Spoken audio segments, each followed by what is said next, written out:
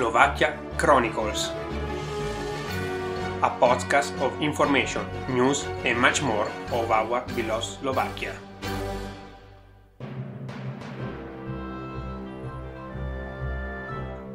By Andrea Paolo Mazzucchetti.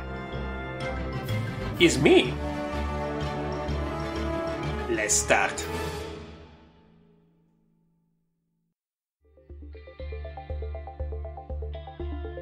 Hello everyone! Welcome to the 58th episode of the Slovakia Chronicle podcast. This is the second episode of the summer series called Discovering Italy from Slovakia, where I will share some suggestions from my previous travel experience in my native country, Italy. In the first episode, I've shared tips regarding my native city, Milan, and its region Lombardia. So if you miss it, you can find it in all possible portals like Facebook, YouTube, Spotify, Google, and Apple Podcast. But let's continue our journey in Italy, talking about a place that doesn't need introduction Venice. Beside the capital Rome, Venice is certainly the symbol of Italy and recognized all over the world for its particular characteristics. No matter how many movies or pictures you have seen of this city, the reality will always beat your expectations. Its foundations are coming from the Roman Empire times, and the most flourished period for the city started in 16th centuries, when they conquered the Mediterranean Sea. Coming back to our times, the best period to visit Venice, since it's located in the north of the country and is a similar weather of the city of Slovakia, is definitely spring. Not too hot and not too cold. To reach the city from Slovakia, there are three ways that I can recommend via train, bus, or using a car. Unfortunately, all these solutions are not the fast ones since we are talking about a trip from 7 to 10 hours, even if the cheapest solution is the bus. You can always travel during the night to be there in the morning ready to spend a long weekend in one of the most romantic and beautiful cities of the world. So, is more than worth it? The city is basically standing all over the sea, and there is a main canal that crosses all the entire city, called Grand Canal where all the boats are passing by, giving this magic atmosphere that is also increased by the little rivers between the buildings where you can find the typical gondole. Little boats that you can use by tourists to visit the city. The average price for a ground trip in gondole is 50 euro, so definitely not the most economical solution to visit the city, but it can give you another perspective of the city from the water.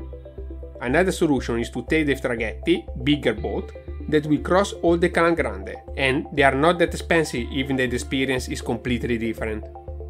The city is divided into six neighborhoods San Marco, San Polo, Santa Croce, Dorsoduro, Cannaregio, and Castello, even if the first one is definitely the most popular one. In fact, in San Marco, you can find the most iconic place of the entire city San Marco Square, where you can see Palazzo Reale, where the most important person of the city, the Doge, was living, then, of course, the Basilica of San Marco, the Venice principal cathedral with its famous bell tower and clock tower. All these iconic places are worth it for a visit and they have a ticket entrance, but remember that Venice is not a cheap place and everything is very expensive here, even for the locals.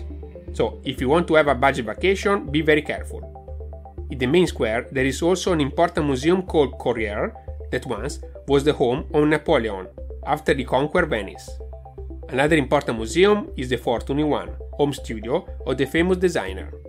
One of the most iconic architecture in Venice is the bridge, and the most important ones are the Academy Bridge, a wooden made one with a typical shape of the cat back, then the Rialto Bridge, a masterpiece of engineer, and the Sighs Bridge, one of the most photographed pieces of art of Venice, which in the past was used by the police to move the condemned prisoners from the prison to the place of execution.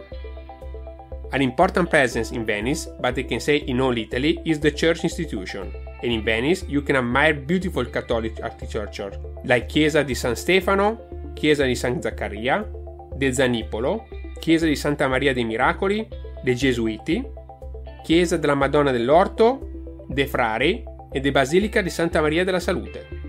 And I mentioned just the most important ones. Yeah, we love churches.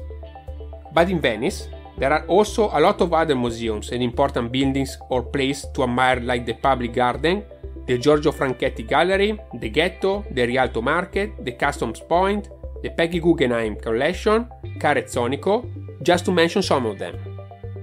Anyhow, the best way to discover Venice is to lose yourself in the little streets of the city, where you can find amazing spots for pictures and romantic views.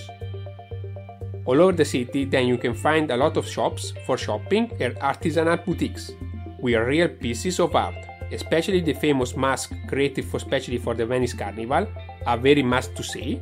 The Murano glasses, a very tradition of the city close to Venice, Murano, since the 10th century, and paper and textile tradition. In the little streets, you can find also a lot of bars, cafes, and restaurants.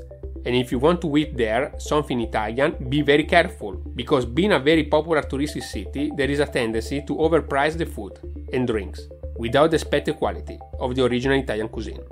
But, as happened also in the previous episode, I would like to mention other cities that are part of the Veneto region, which Venice is the capital. Let's start with Padua with its Renaissance masterpiece, the Cappella of Scrovegni. Verona, well known for its amazing Roman arena and for the opera of Shakespeare Romeo and Juliet, with the possibility to visit her famous balcony, and Vicenza, with important museum and buildings like Palazzo Leoni Montanari and the Olympic Theatre and La Rotonda. Another important aspect of Veneto region is its wine tradition, in the well-known territories of Bolpicella, Amarone, and Bardolino, there are several types of wines that are famous in all the world produced in Veneto, but definitely the most important one is the Prosecco. And the people from Veneto invented also the aperitivo cocktail, Aperol Spritz, so if you like alcoholic drinks, this region will satisfy all your wishes. We arrive at the end of the episode, and I wish you a good week, and hear you next Saturday with a new episode of the summer series Discovering Italy from Slovakia. Thank you be part of the Slovakia Chronicle family and stay safe.